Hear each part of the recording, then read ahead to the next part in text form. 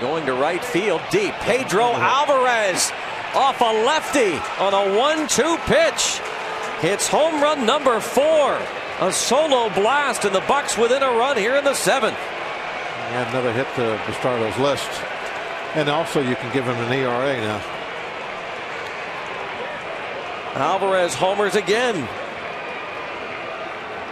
Did not play last night.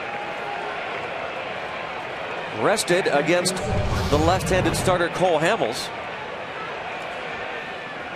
Got a breaking ball that was it was on the outside part of the plate, really right on the corner, but he left it up.